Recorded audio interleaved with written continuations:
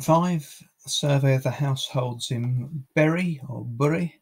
Um, we've got that the probability of having a freezer is 0.7. The probability of having a dishwasher is 0.2. This must be an old survey. I don't believe only 20% of dishwashers anymore. And 80% have either. So either is the union of them. So freezers and dishwashers is 0.8.